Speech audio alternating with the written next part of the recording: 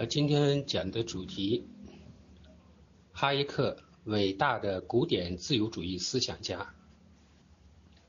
那么讲这个哈耶克呢，心中还是有小小的激动的。如果是在一个正式课堂呢，我希望呢，就是每一个学生都站起来向这两位人类伟大的先哲先贤致敬三十秒钟，保持强大的军力和经济活力，能够对这个世界的独裁者。产生压力，这是我们对这个哈耶克、米塞斯保持敬意的另一方面的原因。为什么对这个哈耶克以及他的老师米塞斯要抱有这样崇高的敬意呢？如果说我们今天我们对我们的未来生活、对我们的自由和尊严还抱有一线希望，那么是因为在哈耶克。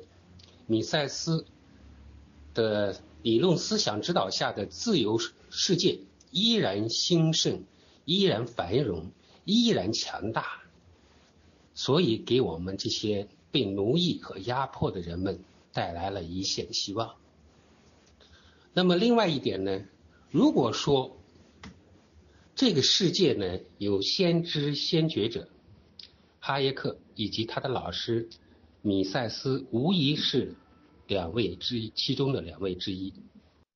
那么在二三十年代呢，欧洲弥漫着废边社会主义那些貌似公平公正、合理的社会制度设计，以及共产党的共共产主义的幽灵弥漫在俄罗斯大地、东南亚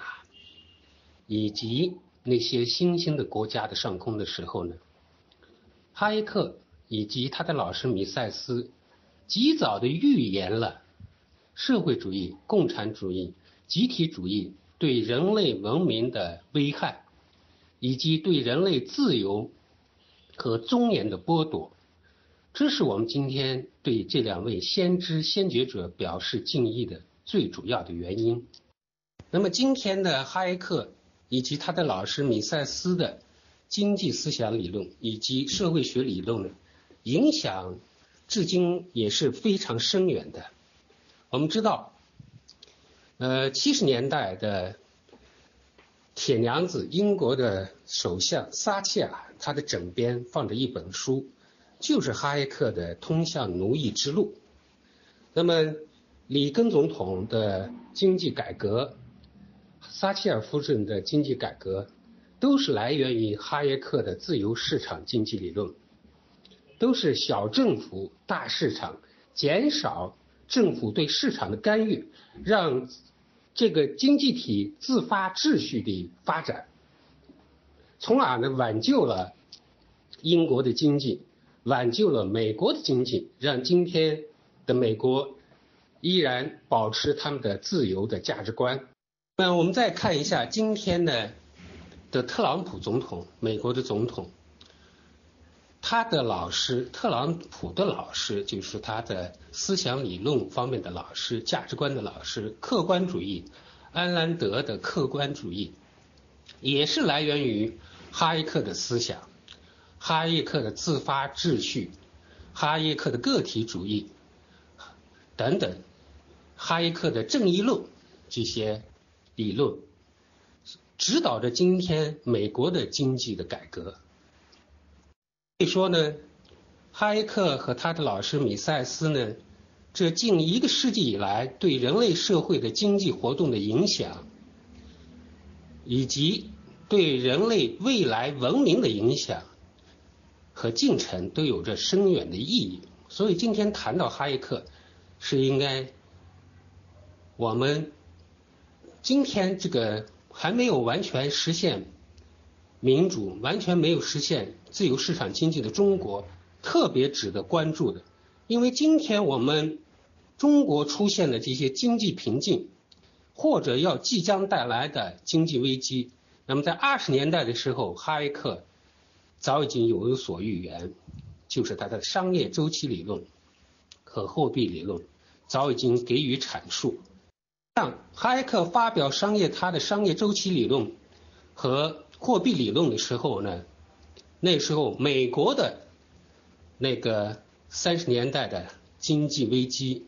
经济萧条没有出现，但是哈耶克也已经预言美国的这个这次大的经济危机将会出现，那就是中央政府。的信信贷的扩张造成的这种经济危机。言归正传，先介绍一下这位伟大的经济学家以及思想家的生平和他的出身。哈耶克呢，出生于1899年，死于1992年，是奥地利出生的英国知名经济学家和政治哲学家。哈耶克呢？是新自由主义代表人物，因为商业周期以及货币理论，1974年获得诺贝尔经济学奖。代表作有《通向奴役之路》《个人主义以及经济秩序》。哈耶克呢，在学术上属于奥地利经济学派，但是在后期呢，和奥地利经济学派。大的方向比较相一致的芝加哥学派呢，与哈耶克的这个还是非常有渊源的。因为呢，哈耶克在他晚年的时候呢，就是在芝加哥大学任教，从而影响了一批后期的芝加哥学派的主要代表人物，像弗弗里德曼等等人。所以，虽然哈芝加哥学派呢，在某些观点上，和奥地利经济学派呢有些差异，他们强调的是有限的干预和这个哈耶克的这种完全自由的放弃国家干预主义的这种思想呢有所差异，但是哈耶克的思想依然影响了芝芝加哥学派思想的发展。那么谈哈耶克呢，必须谈到他的老师米塞斯，其实。米塞斯为什么哈耶克，呃，这样有名气？很多人基基本上不是非经济圈的人呢，对哈耶克都有有所闻名，但是对米塞斯反而是感觉非常陌生，因为哈耶克获得了1974年的诺贝尔经济学奖，所以哈耶克呢这个名气呢就比较大。另外，哈耶克的《通向奴役之路》呢是一一部划时代的著作。他在这个实政圈，在这个追求民主、向往自由的人的心灵中，是一座圣经式的著作。所以呢，哈耶克的名气呢，就比他的老师米塞斯的影响大，名气大。但是其实米塞斯的伟大，甚至要高于哈耶克一点。为什么这么讲？因为哈耶克的很多思想，包包括他的商业周期理论。包括他的自发秩序，啊，以及对社会主义的批判，都是在他的老师米塞斯的思想基础上发扬光大的。所以呢，但是呢，米塞斯非常不幸，在米塞斯发表批判社会主义的这些著作的时候呢，那时候呢，正好是国凯恩斯主义以及国家干预主义在欧美盛行的时候呢。所以说，米塞斯呢被视为是异端，不但在学术界，在思想界都被排斥。米塞斯的一生呢，非常的那个寂寞，也非常的落魄，甚至不能够获得一些欧美大学的一些终身教授教职这些职位。但是这都不影响米塞斯思想的伟大，也不影响米塞斯。对于后期奥地利经济学派的一系列著名像璀璨的星星一样的奥地利经济学派的学者思想的影响，不影响我们今天对于米塞斯这位人类思想史上的大师的敬意。有一个学者说了，一个米塞斯顶替五个诺贝尔经济学奖，可见米塞斯他是多么伟大。以及他的思想是多么有先验性。米塞斯呢是那个自由主义思想家，他们呢，哈耶克在大学时候呢，开始接触米塞斯的思想，完之后受到启发。哈耶克毕业两年之后呢，和米塞斯合作，共同研究经济周期，提出了，所以说这个商业周期理论呢，应该叫米塞斯哈耶克商业周期理论。那么谈到这个哈耶克呢，就必须除了我刚才谈到他的老师米塞斯之外，还要谈到一个影响深远、影响影响巨大的一个在欧美流行的经济学派，那就是奥地利经济学派。奥地利经济学派呢，是一种坚持方法论的个人主义的经济学派。那一般认为呢，奥地利经济学派的形成于1871年，卡尔蒙格尔的经济学原理的发表。为什么它叫奥地利经济学派呢？因为它的代表人物卡尔蒙格尔、弗弗里弗里德里希·冯维塞尔、奥根·本彭巴维克、路德维希·冯米塞斯、路德维德里希。奥古斯特·冯哈耶克等等，你可以看出他们前缀名字都是日耳曼人的名字，哎，都是，所以这批人呢，全部大多数都是来自于维也纳，就是奥地利的维也纳，所以呢，他们叫奥地利经济学派。他们呢是建立的是一种以个人消费心理来建立的它理论体系。所以他们也被称之为是维也纳学派，或维也纳心理学派。其实奥地利经济学派的研究方式呢，和英国古典的经济学是相同的。哎，可以说呢，它包含了大卫休谟、亚当斯密、大卫李嘉图、弗里弗雷德里克巴巴斯夏等主要的经济学家的研究方式。奥地利经济学派认为呢。只有在逻辑上出自于人类行为原则的经济理论才是真实的。这种理论的正式名称叫做人类行为学。所以说这一点呢是非常重要的。所以奥地利经济学派为什么有那么样的呃影响和客观的真实程度呢？他们的，或者说他们叫做一个微观经济学。就是因为他们是从人类行为学这个角度来研究经济的理论的，以及经济组成方式等等这些经济学的的框架结构。所以说呢，人类行为学的方式呢，使经济学家得以以此探索适用于所有人类的经济规律。这呢，就是奥地利经济学派。和其他的经济学家不相同的地方，很多的经济学家，包括社会主义的经济学派呢，呃，在他们是以一种心灵论证的方式来推导出所他们自认为追求的道义、正义、公平、秩序等等这些原则。奥地利经济学派呢，不是从这种心灵论证，不是从道德、人权。公平这些所谓的这些道德因素的这种口号之下，来去研究经济学。他们研究的是人类的行为学、人类的心理学、个体的心理、心理的个体的偏好等等这些微观的东西，从而得出很多的这些呃自由市场经济理论，比如说自发秩序啊，以及商业周期啊，商业周期引起呃个人偏好引起的商业周期行为啊。等等，这样他们来研究经济学的，完全不等同于像凯恩斯主义或者社会主义经济学家，他们呢老是以为，哎自己是非常聪明，能够或者说自己是非常高明的、非常崇高的，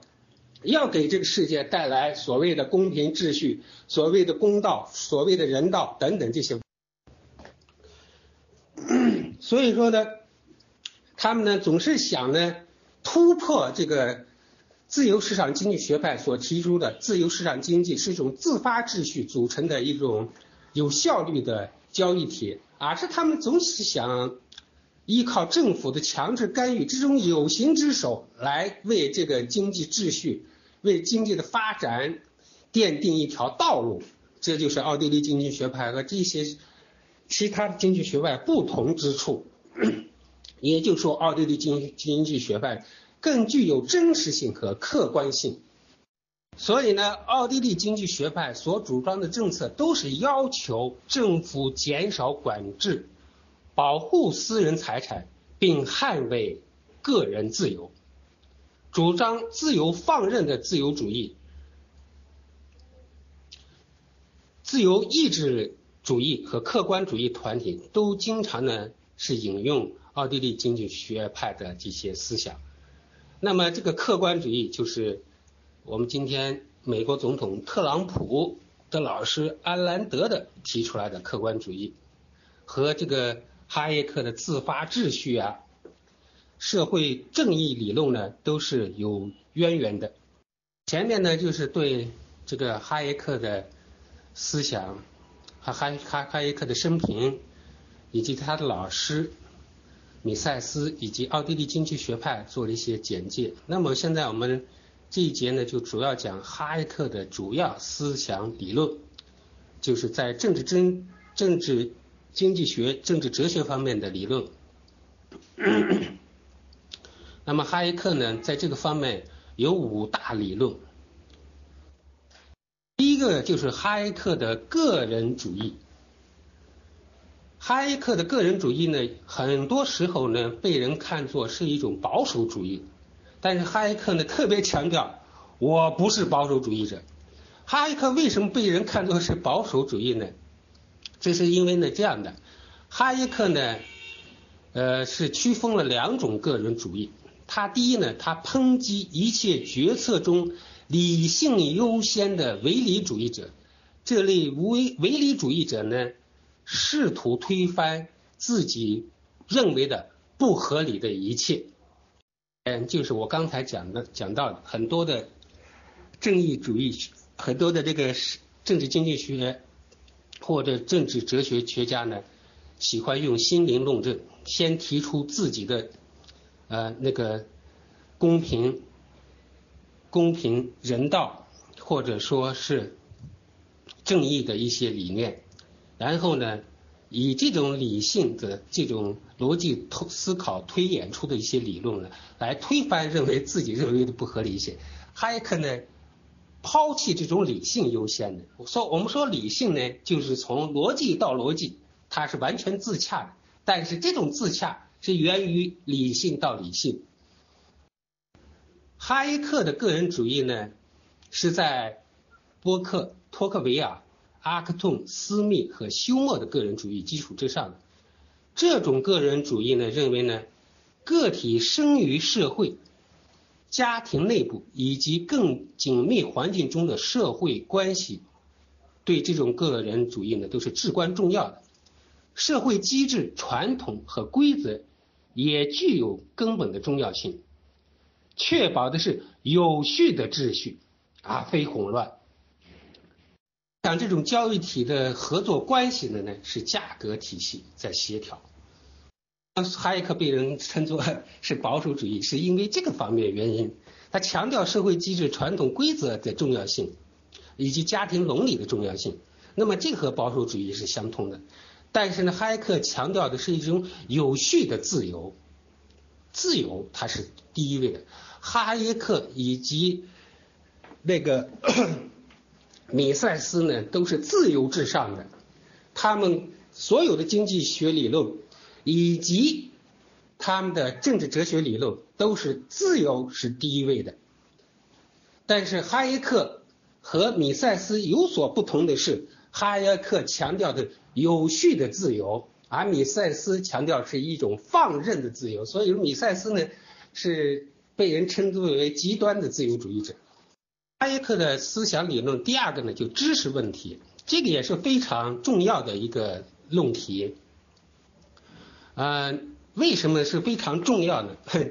我们今天的很多的伟大的领袖、伟大的思想家，总是认为他们掌握了世界的真理，总是认为他们高于这个普罗大众，他们能够指导这个是人类文明的进程啊。我们今天这位这位先当下也是说要指点世界经济发展的呃这个方向，还要建立人类共生命共同体，这都是来源于他们认为他们能够涵盖人全世界人类的所有的知识，所以他们比比普罗大众要高明。这种可能性的发生，所以呢，哈耶克认为呢，全世界的知识呢是极为分散的，每个人只能接触到它无限小的一部分，也就是说，没有任何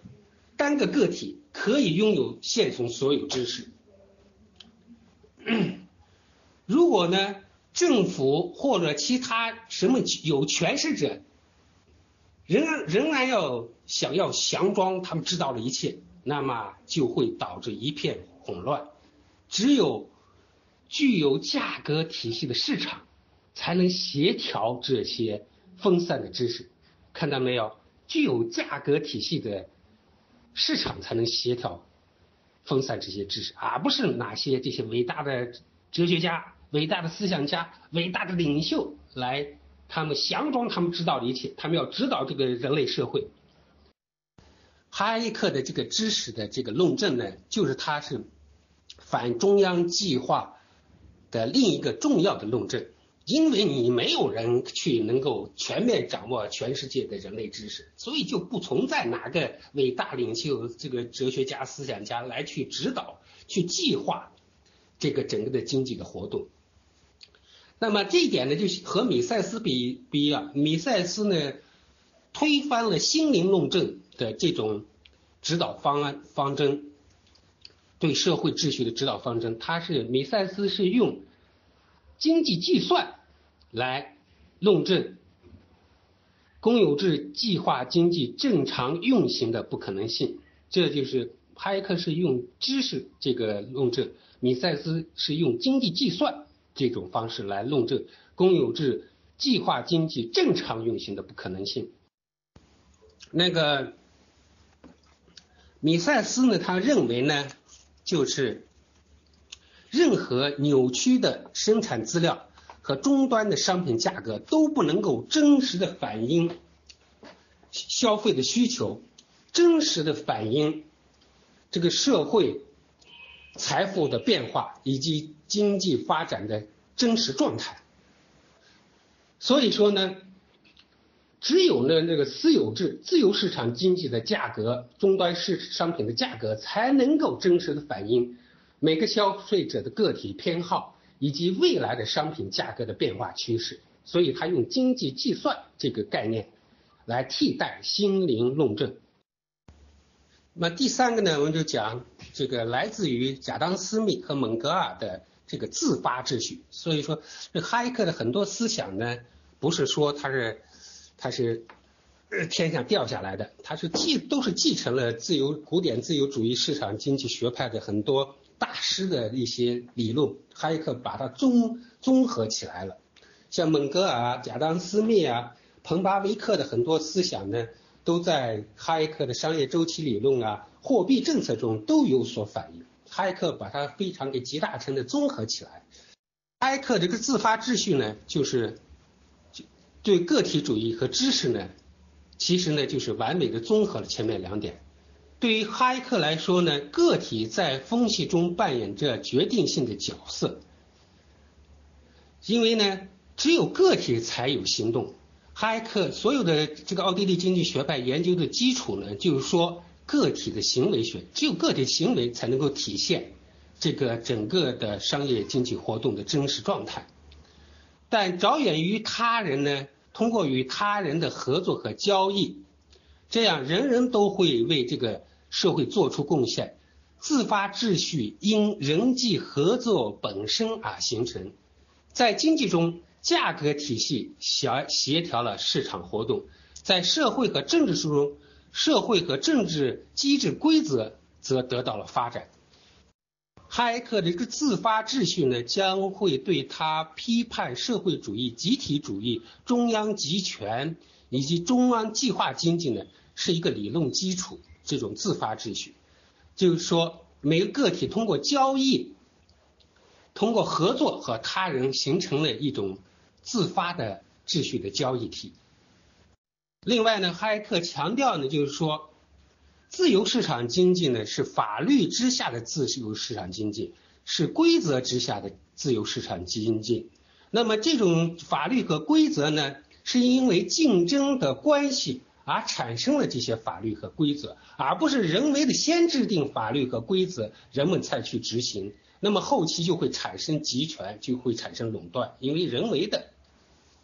哈耶克这个自发秩序呢，在奥派创始人卡蒙格尔早就产已经解释了社会机制是如何出现的，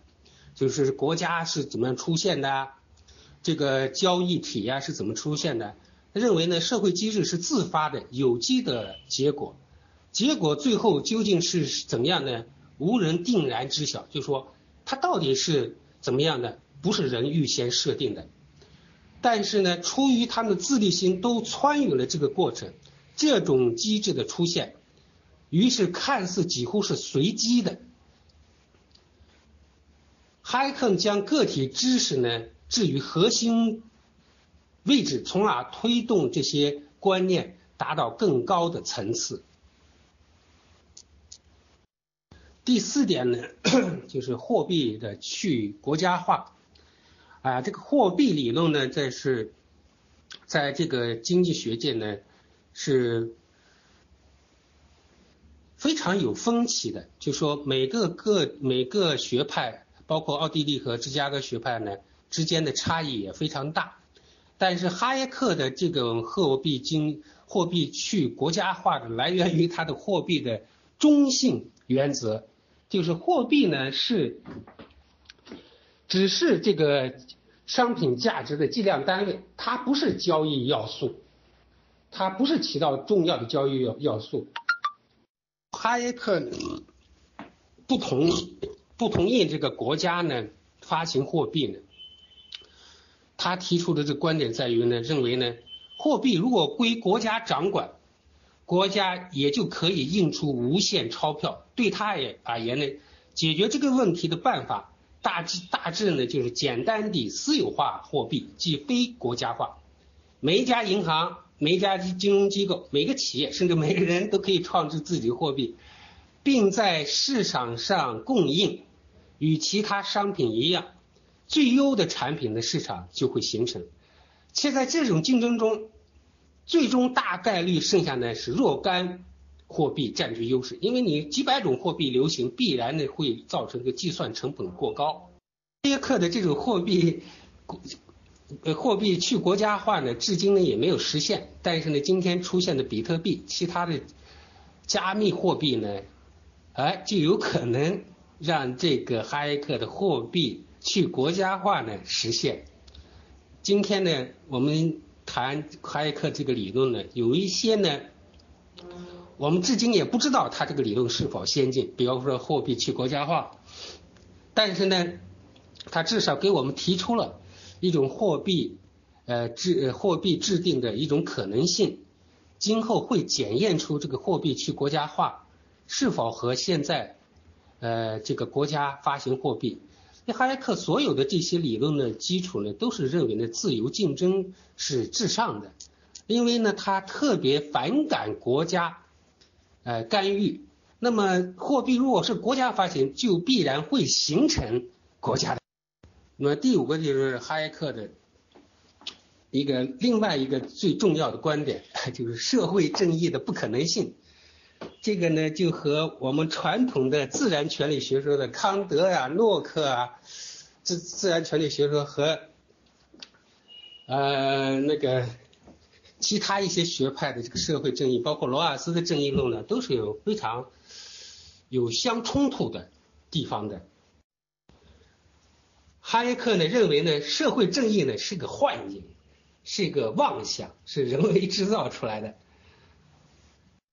那么我们就开始谈第二部分，就是帮助哈耶克获得经诺贝尔经济学奖的商业周期货币政策理论。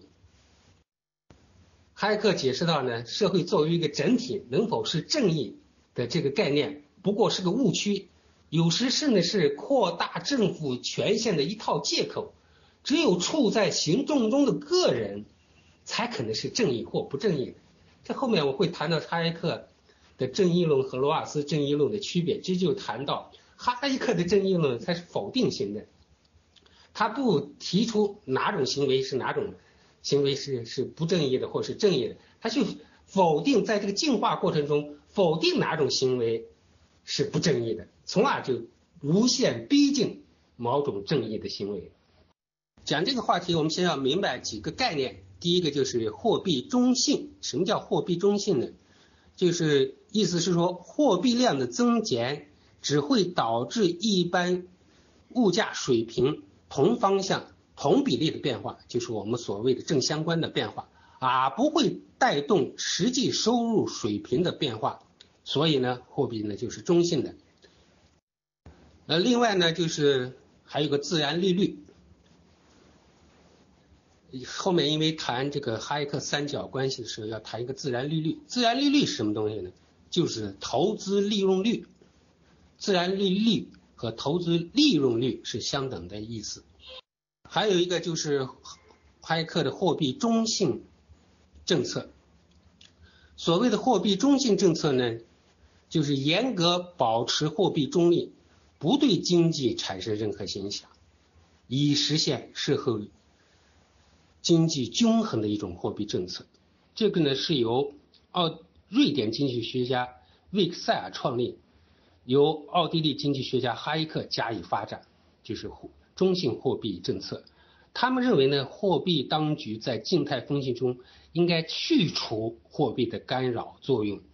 货币只作为表现价值的计量单位，在经济活动中保持货币中立，既不采取紧缩型货币政策，也不采取扩张性货币政策，商品相对价格就可能稳定不变，经济呢就会完全处于零通货膨胀的理想。其理论基础在于，货币仅是交易的媒介物，货币不是。真实的生产要素，因此货币政策呢，只会影响价格的总体水平，而不会使相对价格发生变化。所以货币供应量的变动不会对社会经经济增长产生实质的影响。理想做法呢，就是货币当局完全采取被动适应做法，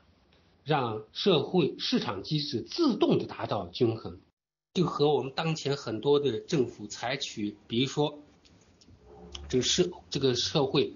这个经济活动中货币量不足的时候呢，他们就是降准啊、超发货币啊、呃扩大信贷啊这种刺激经济方，这是这是凯恩斯主义。但是呢，哈耶克的这个货币中性理论意思就是说，货币量不尽量不要增大或者变小，要保持货币量的永恒。那就会不会影响到整个的这个货币呢？对这个经济活动的干扰活动。那么经济活动呢，会有时候呢，它会扩张，会会萎缩。但是如果你的货币量总值不变，那么通过这种呃各种方式呢，它它这个经济活动会自然的达到一种均衡的状态。那哈耶克认为呢，货币呢只能够保持中立。就不会影响经济自动均衡的机制。这种动态变化呢，有利于经济发展。保持货币中性呢，是实现经济均衡的重要条件。也这就是呢，哈耶克的货币中性理论。啊，三角形的斜边则代表整个生产过程产生出最终消费品的货币价值。然后我们再讲的最重要的一部分呢，就是货币利息投资和整个经济的生产结构理论。首先呢，就要提到就是哈耶克三角，呃，后面的那个 商业周期和这个经济危机的产生的根源的推理的基础呢，都是这个哈耶克三角。哈耶克三角呢，是他哈耶克呢把这个。呃，这个生产结构分为从最终消费品到各种中间品，生产的一个时序生产阶段的三角形。三角形的一边代表生产结构的时间纬度，即生产的迂回程度；三角形的另一个直边呢，代表生产阶段，而每个阶段的垂直高度代表尚待完成的生产过程的货币的价值。啊，三，所以呢，按照哈耶克这个三角的生产结构理论，就是生产的越迂回，就生生产的这个纬度时间纬度越越长。则生产最终消费品所需要的中间产品阶段越多，越需要投入更多的资本，因为这个垂直这条线就代表中间阶段投入的资本，就是货币的总值。最后呢，那个斜边呢，应该会产生更大的货币总量。按照哈耶克这个非常复杂的货币、利息、投资和整个。经济的生产结构理论，如果一个社会消费者实际的偏好发生了变化，即人们偏向于未来消费，人们偏向于未来消费，则储蓄就会增加，利率就会下降，因为银行就会降低利率，降低储蓄，这样会刺激呢，利率下降了，那个企业家呢，他贷款的这个成本低了。就这样就会刺激企业企业家增加投资，社会资本呢就会偏向于投向资本化程度更高的生产，即对接近于生产最终消费品和耗时较短的资本化程度较低的生产阶段的投入则减少了，结果整个社会的生产结构链条更长了，就时间纬度更加迂回了。相反呢，如果人们对时下的消费则看得更重，那人们会从银行里拿出储蓄来进行消费。那么银那银行为了增加储蓄，它就会会提高储蓄利率，利率就会上升。那么企业家的反应呢，那就是说企业家贷款的成本高了，它就会减少这个生产的这迂回程度，投资本呢会投向于直接消费品的生产，也即。资本化程度较低的生产，生产的链条呢就会减少，就是那个三角形的底边那条链条就会减少。这个呢就是哈耶克就是个体的这个理论基础呢都是个体行为学，个体的偏好，个体对未来消费和对于当时消费，对于这个储蓄的利率，对于这个企业家投资的方向的影响。人们对当下的消费和未来消费的时间的偏好率呢变动，会自发的引动利率的变动。这种利率的变动呢，会引致迂回生产阶段的自然调整，像一把扇子一样不断的打开或折合，但并不会造成工业波动和商业周期。这个工业波动、商业周期的意思就是说，我们就是三十年代看到的美国的大萧条。大萧条的有原因呢？按照凯恩斯的说法，就是有效需求不足，所以国家需要负债经营、负债投资基建，从而刺激社会的这个呃这个消费，刺激这个这个经济活动。克则认为呢，国家不能够去干涉，不能够增发货币，就是让他这种个体的行为的消费的偏好程度来不断的影响。这个企业家投资或者投资未来的中呃未来的资本程度化更高的产品，或者投当下时下这这个消费品，这样呢，它是自然的去均衡。那么现在就知道了哈耶克以上的理论，我们就知道了今天我们就要谈到这个商业周期或者说是这个经济危机是怎么产生的了。哈哈耶克们认为呢，并不是由于这个呃所谓的那种我们在这个初中时期所说的，由于是资本家的贪婪，或者说是呃这个生产计划的无秩序，造成了最终这个消费品的呃滞胀，就说是零售呃没没办法销售，有效需求不足，这是我们。在社会主义计划经济理论里面学到的课程。那么哈耶克这个理论就说，并不是这个原因，个体的偏好只会使这个银行利率发生不同的变化，从而使企业家的对终端，这就是未来消费品和即时消费品，它是自动的去均均衡的，自动的来弥补它们之间的关系的，不会发生就说是有一段时间就是完全去投资未来消费品，从而呢对造呃这个造成的整个这个。当即时消费品的这个供应不足等等这些原因，这个基础原因都是来源于就是说个体消费的偏好，那这个个体消费偏好又是什么呢？又是就是哈耶克奥地利经济学派的个体行为学，维也纳的心理学，由这个理论基础和推导出来哈耶克的三角理论，哈耶克的商业周期理论，说如果是政府所主导的信用扩张。所引起的利率变化，那么就会通就会给人为的降低了利息率，把实际的利息率人为的压低在自然利率之下。刚才我们讲自然利率是什么东西呢？自然利率就是投资的利润率，利息率压，这样就会给投资者呢一个虚假的信号，激励他们增加资本的投入，并把资金投向。远离最终消费的资本化程度较高的生产，使整个社会的生产过程更加迂回、更周期更加长，从而导致了资源的错配，创造了一个人类的经济繁荣。这呢，就这点呢，就是哈耶克用他的商业周期理论呢，彻底的批判了中央政府通过扩大。信贷扩大货币供给所造成的这个经所谓的经济危机的产生，因为呢，我们通常认过去我们刚才已经讲了，我们那个社会主义经济学理论呢，都给这这这就就是把说这个由于这个自由市场经济无序的经营，没有计划经营，最后就会造成这种所谓的商业周期，所谓的经济经济危机的不断出现。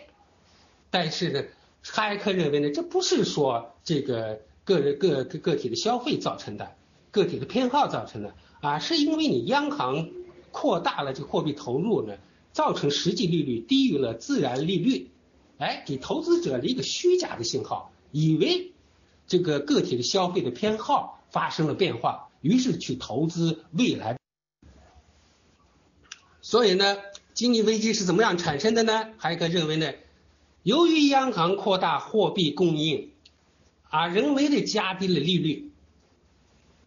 那么短期内呢，就是降低了失业率，增加增加了产出。为什么呢？为什么降低失业？因为企业家这个受到这个虚假的信号，它利率降低之后，它这个贷款就比较容易了吗？他就可去投资那些未来的生产品，所以呢，那么失业率自然降低了，因为生产增加了，就需要雇佣更多的工人，所以产出也增加了。但是这个过过程呢是不可持续的，这种繁荣也是不可持续的，因为利率被人为的压低到自然利率之下的时候，我们说的自然利率就是刚才我们说的投资利润率的时候呢，原来不可行项目呢变得可行了，就就会就是原来它的那个投资下来之后呢，它的那个利润率就是自然利率。非常低，没有人愿意投这种利润率很低的项目。但是它的利率降低了，它贷款的这个成本降低了，他认为，哎，我投资这种项目也是有利润可图了，于是就去过多的去投入 那个原来不可行项目，这样就会导致呢投资过度扩张，资源被过多的错配在生产高阶。资本品的项目上，这样短期会造成生产资料的价格的上涨，同时呢，工人的工资也会上涨，因为他投资多了，需要更多的工人，那么失业率降低，工人这这种议价的能力就就就强了，他的工资也会上涨。但在这个时候过程中，重要一点，大家注意，就是说人们对消费的实际偏好并没有改变。当人们获得这些新增货币时候，发现利率已被人为的压低，会增加对直接消费的这需求，人们消费需求的增加，又会导致消费品物价的上上涨，从而造成全面的物价上涨。但是呢，这种人为压低利率的这个虚假信号所造成的资源配置，迟早会翻转过来，即其呢消费品不足啊，迂回生产阶段则过长，资资本品的投资不过是过度投资，啊是不当投资，这种不当投资结果就会因为投到高阶资本品生产阶段的资本过多，导致生产。产品过剩，最后呢，这些不当投资企业的产品滞销、经营亏损，最后不能偿付银行贷款。这样一来呢，待到银行贷款需要进行清算的时候呢，整个金融系统生产过程就会断裂，大萧条随即就会到来。就是整个的一个哈耶克的论述的经济危机是怎么样产生的？哎，和我们过去所学的那些政治经济学完全是相反的，而是哈耶克认为，就是因为这个呃中央政府的干预，发过呃货币的过度发行造成的这个经济危机的产生。所以呢，哈耶克认为呢，现代社会的任何一次经济危机，实际都是对之前的政府干预下的社会。不当投资的一种清算，也可以认为呢，每次大萧条都是政府干预货币和市场过程的一种必然结果。另外呢，就是哈耶克呢 还很有意思，哈耶克的这种这种对于经济危机产生的原因根源这样的解释，他也认为呢，他反过来也认为呢，就是说任何一次经济衰退呢，对人类社会实际也是一种良药。因为这个造成这种虚假的繁荣，资源被配被错配，生产结构被扭扭曲，这样每次经济衰退，实际是对政府信用扩张、央行超发货币所导致的资源错配和生产结构扭曲的一种逆转，从而萧条后的经济复苏也必定清理不良资产，因而向消费者实际偏好，一定注意这个消费者实际偏好。与资源相互性相一致的资源配置的一种回归。说这个种经济萧条，你必然已经发生了，那就让它发生。那么是不是会饿死人呢？这是另一回事，我们会这样谈。但是呢，只有这种萧条发生了，才会对过去这种超发货币的这种错误行为呢进行一种回归。最终的回归到哪里呢？还是说的。那个他的商业周期理论里面的，一定要是其个体消费者实际的偏好，哎，每一次就是实际的偏好与这个消费品的生产是息息相关的，这样的资源配置呢才是最合理的。所以哈耶克呢就是始终认为呢，政府干预这个央行超发货币呢是经济衰退的原因，但不是解药。那么今天我们看到，我们今天中间的中国的央行，我们已经知道它超发那么多货币，它 但是时下这个经济萧条影响他们政权的时候啊，他们干什么呢？他们继续只争盈可啊，他们继续超发货币啊，咱们要度过今天的难关，咱们只有继续超发货币。说呢，今天呢，在哈耶克呢已经逝世二十多年了，在二零零八年、二零零九年世界经济大衰退后呢是。西方各国经济复苏步履艰难的当今世界，尤其是为应对这次经济衰退而采取的极度的信用扩张的货币政策，促使了投资急剧膨胀的当今中国。哈耶克的这句话，实在是值得各国政府领导人，尤其中国政府决策层以及靠近决策层的经济学家们认真反思和玩味。我们现在呢，继续呢靠超发货币来度过难关呢，就是以一种饮鸩止渴的行为。那未来造成的更大的这经济危机是不可避免要到来的。那么怎么应对这种局面呢？哈耶克理论就是非常被动、消极的，就让这种经济危机到来吧，没办法躲得过，临头是一刀，挨死也是一刀，就让它来吧。这样呢，央行呢不要去再去主动去干预了。好，我们讲第三节，就是哈耶克的通向奴役之路。这个通向奴役之路 所传达的思想，以及他对社会主义、集体主义、集权主义的批判，至今呢是影响深远的，也是对各各个国家对于那个在一九二九年、一九三三年资本主义经济危机中，以苏联为代表的 这社会主义。呃，那个尘嚣日上的时候呢，哈耶克这样 非常鲜艳性的预言了这些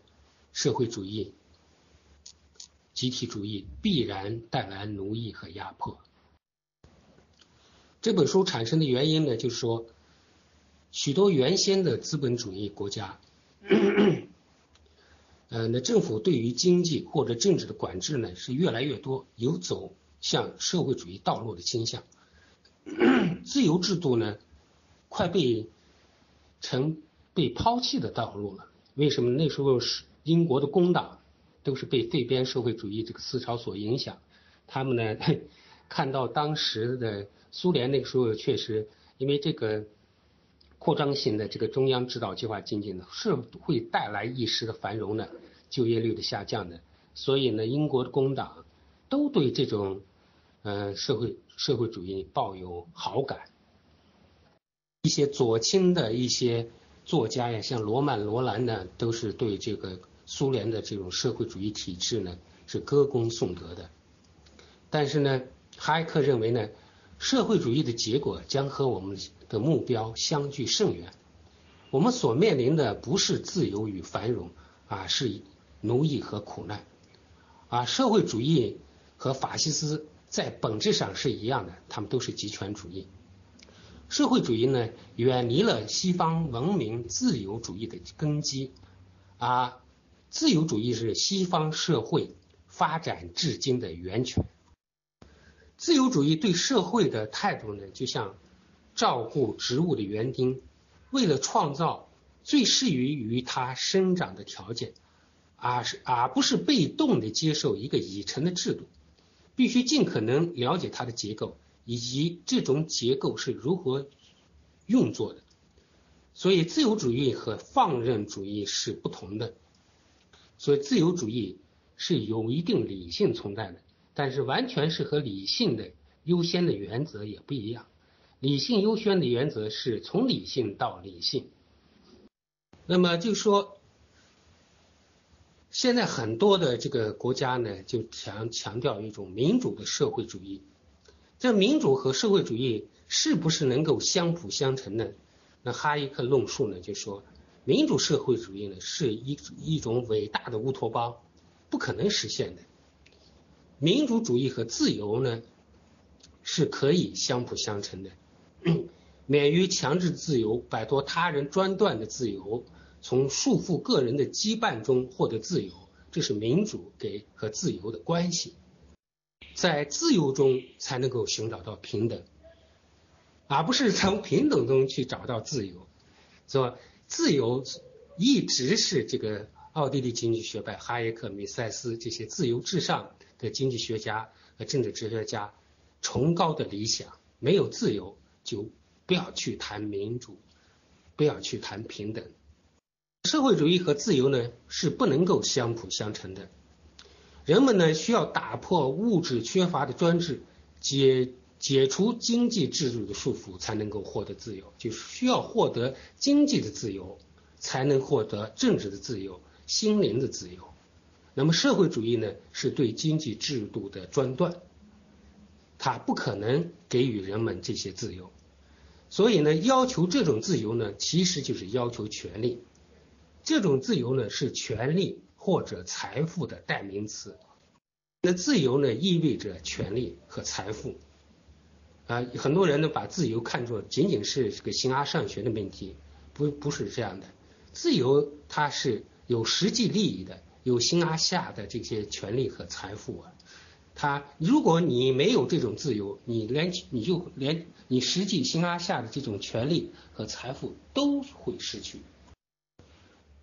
社会主义的起源呢，它就带有独裁性质，从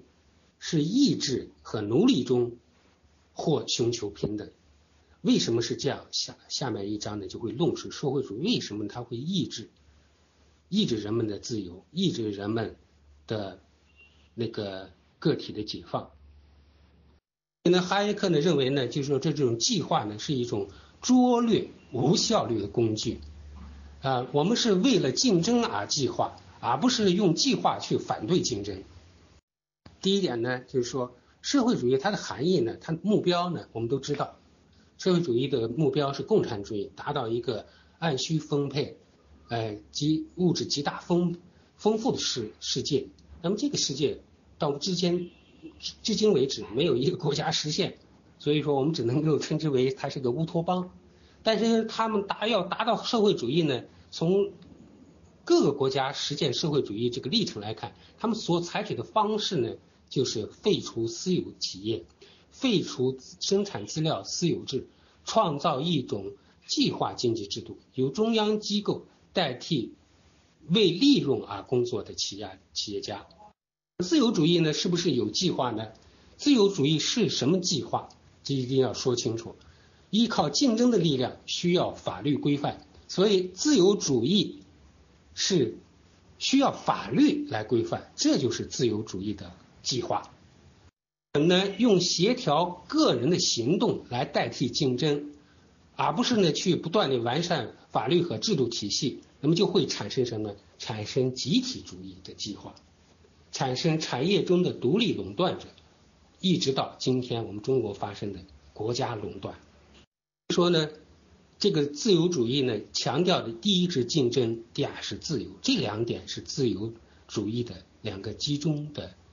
要素。如果没有这两点，每件事情都需要由一个唯一的中心来加以指导，那一定是令人恐惧的，一定是会造成整个这个社会财富增长的停滞，一定会让这个整个社会的思想，呃，是一潭死水。有一点就是说，计划它怎么会产生呢？为什么一定人们就是不自觉的就会？有这种计划的概念呢，这是因为呢，哈耶克对这一点呢进行了深刻的阐述呢，就说呢，由于技术的进步，产生了大规模的经济，产生了那种大规模的这种呃经济体，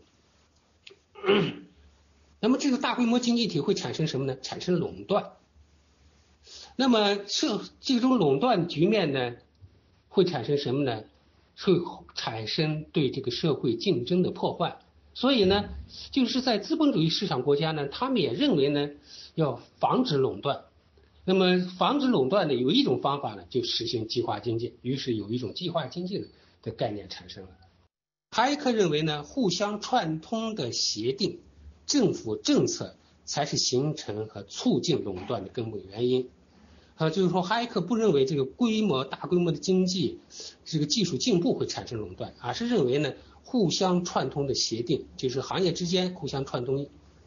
互相达成一种按私底下的协定，还有政府政策呢，才是形成和促进垄断的根本原因。那么我们今天的中中中国的一些垄断企业，这就属于政府政策，中石油、中石化、什么网电的，他们属于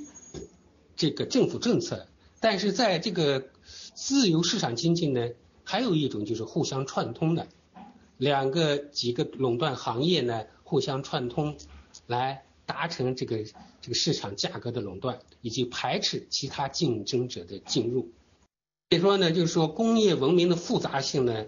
就让人们为了防止社会生活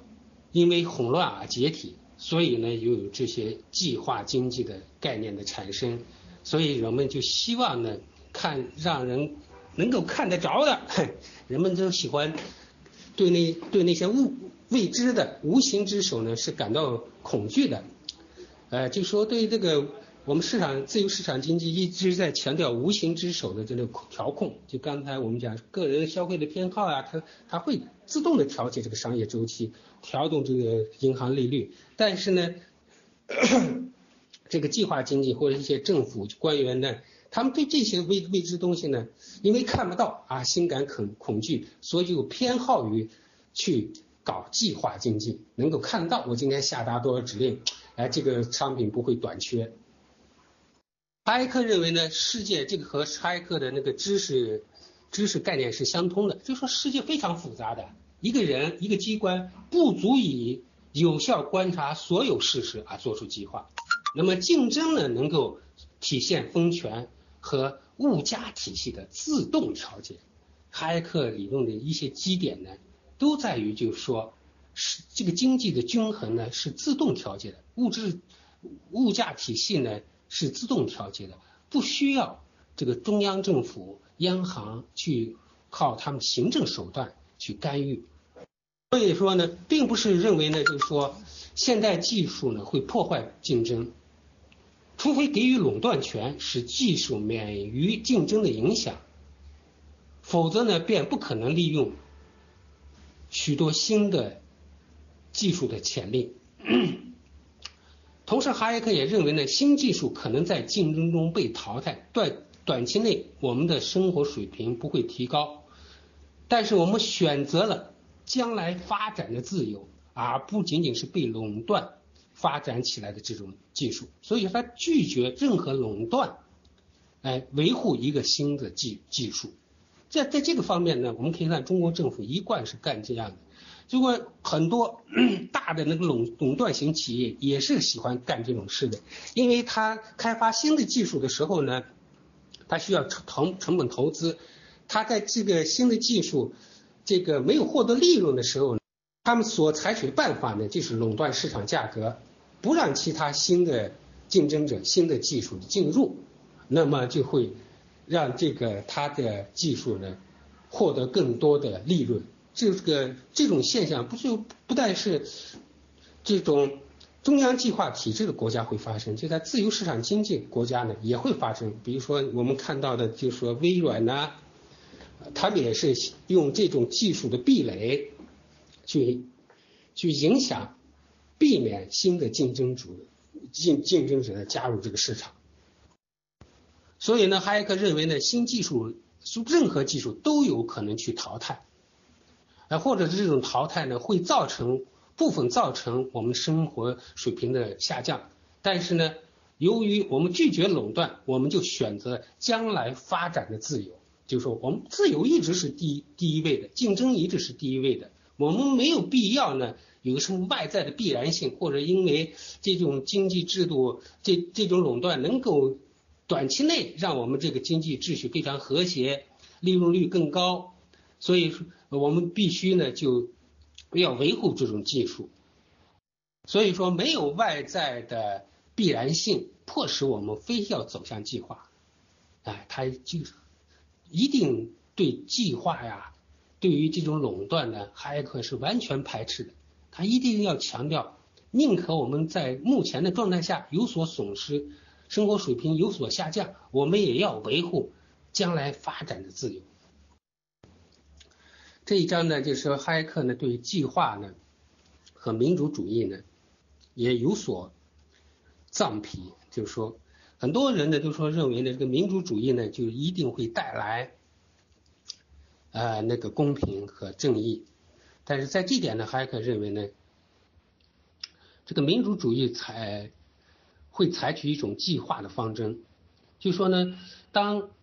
计划所服务的目标。并没有完全一致的意见，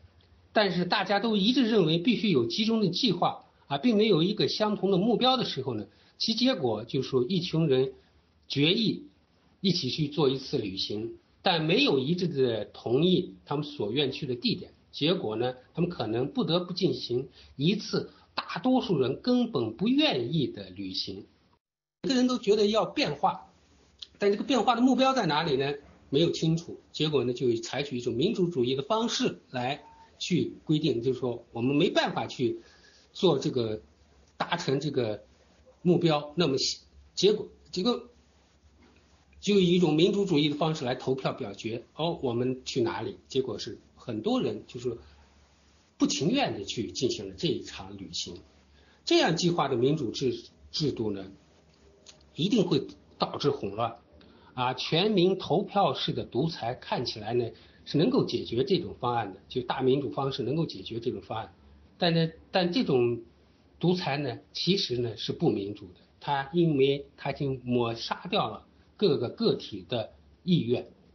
所以呢，哈耶克认为呢，这种计划和民主呢也是相冲突的。说计划和民主社会，说民主社会主义呢，这种呢也是不能够实现的。你有计划就不可能有民主。第第六章呢，我们讲计划与法治。哈耶克强调的是一种法治的政府。维护实际上的公平与平等，要为不同的人产生同样的结果，必须给予他们以不同的待遇。设置目标，使民众自己根据自己的情况制定自己的计划。但是呢，如果一个计划当局的法治呢，形式上是公平与平等的，命令人们走哪条路。政府政策对某人的准确的影响已已经是已知的，知政府必定有所偏袒，把他的评价强加于于民，为他们选择目标。立立法者呢，把法律当成了为他们自己的目的啊，意使人民的工具，使专横的行动合法化。这个就是计划当局的法治和法治的政府完全不同的。所以呢，在这个计划当局的法治之下呢，他们所谓的合法，就是他们有这个宪法，有这个法律条文，所做的行为也是符合法律的，所以叫合法。合法呢不等于法治。那么在这种计划当局的法治之下呢，必然是造成什么呢？人治，这就是我们今天中国的法律制度所产生的结果。法他们的法治最后就是个人治。另外呢，第第第七章呢，就还谈经济管制与集权主义，就是说这是非常重要的一章。我们通常就讲，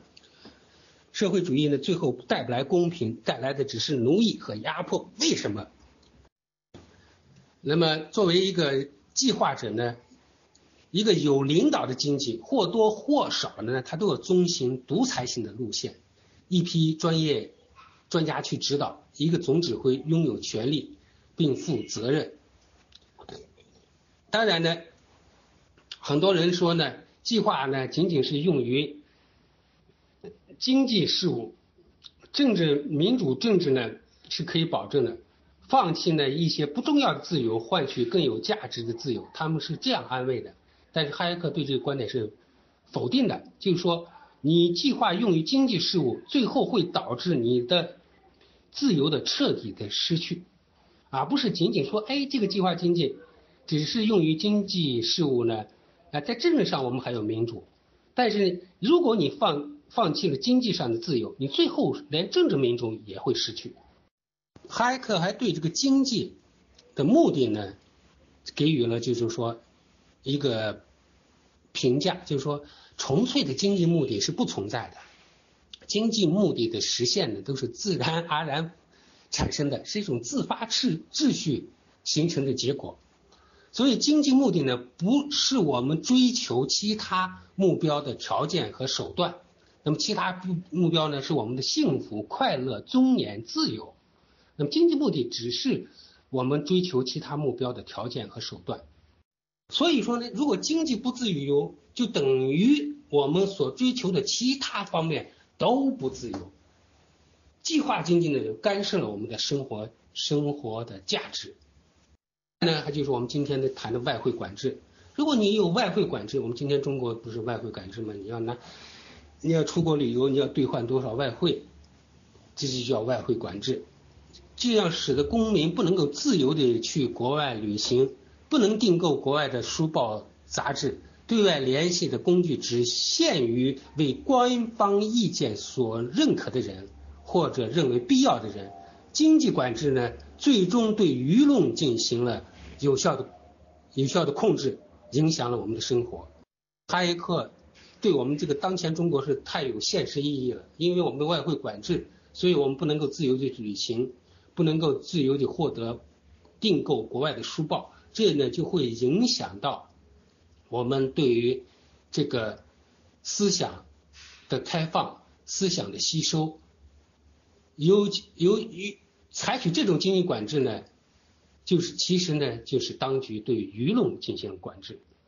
另外呢，经济管制通过生产分配制度决定了我们消费，通过控制各种行业职业的大门决定了我们的职业。你看，又控制我们消费，又控制我们的职业。我们生活的地点与哪些人一起生活，甚至由于计划，人们被分门别类，多样多样性被忽略了，人成为了一样的人，人呢？沦为工具，所以说哈耶克定言就是说，如果没有经济自由的政治自由是没有任何意义的。但是呢，经济自由意味着选择性，也意味着权利的风险和责任。这就是在资本主义社会，如果你选择 选择这个职业，选择你的投资，你是自己要承担风险和责任的，你不能去怪政府。夸张呢。他讲哈耶克讲竞争的制度，一种竞争的制度。哈耶克一直是强调竞争和自由，是他所有的这个经济学理论、政治哲学理论的这个 崇高的地位，有拥有崇高地位。他的经济制度呢，竞争制度呢，谁应得得到得到什么，至少有一半是靠他们的才能和进和进取心的。说这种竞争制度呢。呃，我们强调的说呢，他们能得到什么呢？有一半靠这个人他的主观能动性，他的才能，他和他的进取心；还有一半呢，他没有那么绝对的说，完全就是说经济这种竞争制度上，你所有人都是依靠能力或者进取。还有一种私有财产和遗产，他没有完全绝对的把这个竞竞争制度完美化。大家注意，所以呢，失去了自由的平等，等于是。毫无价值，奴隶与奴隶之间的平等。看到我们今天的中国，看看百朝鲜，我们就知道这句话是多么有先验性啊！就另一点呢，就可以穷穷人没有遗产，没有私有制度，他们的限制就会很多，他就不如其他人的竞争力强。但相对的呢，穷人获得的自由也多。所以竞争呢，虽然是盲目的，说竞争虽然是盲目。但是竞争与正义一样，两者俱不徇私，相是相对平等的。所以说，开耶克呢没有把竞争、把自由这些呢，一定给他赋予很多崇高的价值观，哎，很多崇高的目的。他认为呢，这个竞争和正义呢，两者俱不徇私，是相对平等的，达到一种，就是说不受。这种计划经济管制的控制，那么在计划制度之下呢，每个人呢都按照绝对和普遍的权利来得到他们所应得到的东西。这种制度呢，看上去是绝对平等的。因为计划经济呢，我们都知道，共产主义呢就是说一大二公，每个人呢他的分配看起来呢都是绝对平等的。当然也不是看起来好像是绝对平等。在中国呢，这种私有制，呃，这种权贵，这种等级制度的国家呢，就是受他们实行这个计划制度的时候也是不平等的。他们还有这个他们内部的这种等级划分，什么十三级的这种分配待遇制度啊都有。那么唯一在这点上呢，就是古巴的社会主义这种计划经济制度呢，好像实现了呃每个人的普绝对的和普遍权利。以及所获得的这个东西的绝对的平等。那这种呢，计划制度呢，谁获得什么呢？是由几个人的意愿来决定这种，来这种制度的。都可以看到，所有社会主义国家，他们政治局是唯一的，呃，是他们的核心，嗯，然后呢，他们就有权利来操管这些权利，他们就有全权控制人民。所这样就造成了所有的经济问题，还是回归到一个政治问题，也就是说，这种计划制度之下的人民呢，他们所获得的这些待遇，所获得的这些物质待遇呢，是由几个人来决，几个人的意愿来决定的，他们全权控制了这个政府，这样呢，就让整个社会的经济活动呢，变成了一种政治。另外呢，他们为了使大家这种经济管制呢，必然呢就是说强调一种集体主义，要让大家志同道合，所以呢，从幼年开始进行政治教育。所以呢，哈耶克认为呢，失去了自由的平等，等于是毫无价值的奴隶与奴隶之间的平等。第九呢，就哈耶克谈安全与自由。那么经济的安全呢，会造成有限度的安全。第一呢，就是在自由市场经济制度下，通过政府的政策制度保障个人最低限度的收入安全。绝对的经济的安全呢，是规定一个人所享有的特殊收入之安全。所以说，在自由市场经济制度下，我们还是可以看到最基本的福利待待遇。这一点呢，好多人呢就是把哈耶克和那个福利福利主义呢完全给对立，这是不正确的。哈耶克呢还是强调最基本的经济安全，就是说，就是在自由市场经济这个呃这个制度之下呢，依然要保障最低的人权。最低的收入安全，解决呢经济波动、失业的问题呢，就要去拿别的制度来代替市场自自由市场制度，以保障绝对的经济安全。然后呢就开始，呃就开始搞计划，然后呢就是给报给予报酬，全凭官方的看法而定。这种方式呢，第一呢。不能够激励大家去做有益于社会的事情。另外呢，他只对领导负责，盈利或风险都不关自己的事情。那么最后这种这种经济制度的安排之下呢，就形成最后是形成了奴隶社会，人的自由受到限制，反而不安全的因素越来越多，与初衷已经完全相反。所以说，说这个公有制的这种终身。公有制的这种人人就业呀，看起来是绝对的经济安全，呃，那么其实呢，到最后就两点就可以说，因为它最后会形成的是一种奴隶社会，人的自由受到限制呢，最后呢，不安全的因素反而是越来越多，与从中与这个绝对的经济安全呢的这个初衷呢就已经完全相反了。那就是说，在这追求绝对的经济安全的这种思想熏陶下呢，很多年轻人呢都喜欢去追求安定的有薪水的职位，而不喜欢企业的冒险，过于热衷于从政。从政以大家都知道，从政你就会牺牲一部分的你的思想自由，以牺牲自由来换取所谓的安全和特权，不追求自由精神，不干事务，这样的话社会怎么能够获得发展呢？最后，我们把这个哈耶克这个通向奴役之路这一点呢，就讲他们前十章，后十章后的五章我们就不讲了，因为确实这个延时时间太长了。第一点呢，为什么是说在这种计划经济制度、经济管制、社会主义制度之下呢，会形成是劣币驱逐良币，是一种精英的淘汰制呢？还可是这样论述的。那这样的群体呢，才便于独裁者掌握和控制，以达到其政治目标。在一个社会中，一个人数众多、组织严密、意识形态统一的团体，往往不是由社会中素质较高的人构成的。原因在于，人们的教育水准越高，理智越强，其观点口味就越独立。就说是你越有知识，是吧？你就越有独立的思想，也就有了更多的多样化，